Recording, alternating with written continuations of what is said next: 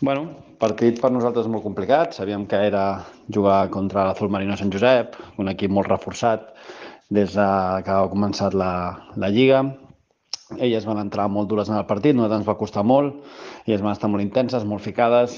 Nosaltres, amb el 9 a 23 inicial del primer quart, doncs ens, va, ens van condemnar bastant. En el segon, en el segon quart sí que vam ser capaces d'agafar el nivell, la proposta d'intensitat que ens demanava el partit, però els percentatges doncs, no ens van acompanyar en cap moment, ni al segon ni al tercer quart. En l'últim quart, els últims tres minuts, sí que, que, bueno, que vam, poder, vam poder ficar alguna coseta més, però bueno, vam començar l'últim quart amb 0 de 20 amb triples i això ens va estar condemnant tot el partit. I al final doncs res, uh, va haver un moment que semblava que podríem però al final doncs el Mallorca va ser just guanyador i, i, i res, primera derrota a casa. I ara doncs a pensar en el següent viatge, la setmana que ve a Pamplona que és un partit, doncs, bueno, com tots, doncs, molt important.